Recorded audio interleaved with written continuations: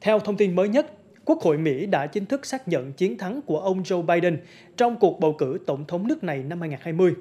Như vậy, ứng cử viên đảng Dân Chủ Mỹ Joe Biden đã đủ điều kiện tuyên thệ nhậm chức Tổng thống Mỹ vào ngày 20 tháng 1 tới.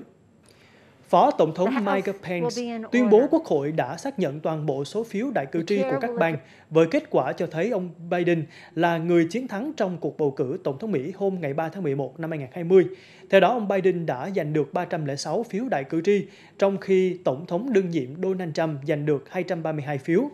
Trước đó, trong cuộc họp kiểm phiếu bầu của cử tri đoàn, hai viện Quốc hội Mỹ đã phủ quyết nỗ lực đảo ngược kết quả kiểm phiếu đại cử tri tại hai bang Arizona và Pennsylvania. Trong phản ứng đưa ra trên Twitter ngay sau đó, người phát ngôn Nhà Trắng cho biết Tổng thống Donald Trump vẫn phản đối kết quả cuộc bầu cử, tuy nhiên cam kết sẽ đảm bảo tiến trình chuyển giao có trật tự vào ngày 20 tháng 1.